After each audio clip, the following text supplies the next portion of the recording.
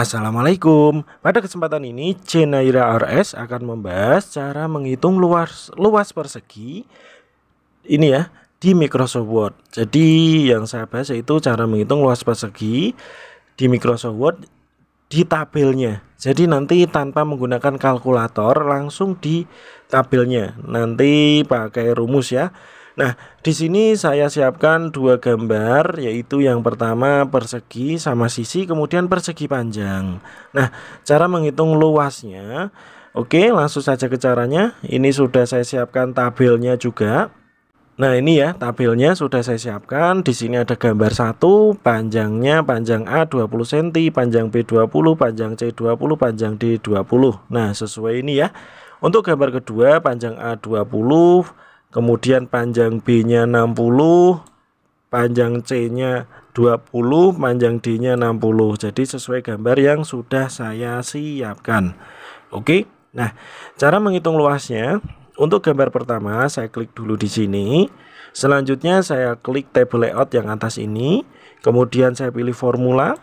Nah di sini untuk formulanya saya hapus saja saya sisakan sama dengan.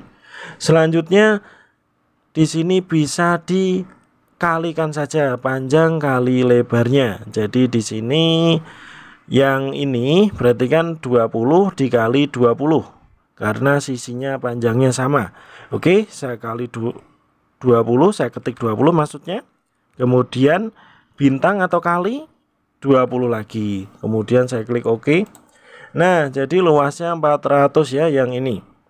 Kemudian untuk yang gambar 2 yaitu saya klik di sini kemudian saya pilih table layout ya pastikan dipilih table layout yang atas ini kemudian pilih formula. Nah di sini untuk rumusnya bisa dihapus lagi disisakan sama dengan. Selanjutnya perhatikan di sini panjangnya 60 lebarnya 20 ya berarti ketik saja 60 dikali atau bintang 20 oke kemudian klik OK Nah, di sini luasnya 1200. Jadi tanpa menggunakan kalkulator langsung dihitung di tabel Microsoft Word-nya. Oke. Mungkin sekian dulu yang saya bahas pada kesempatan ini yaitu cara menghitung luas persegi di tabel Microsoft Word. Saya ucapkan terima kasih. Wassalamualaikum.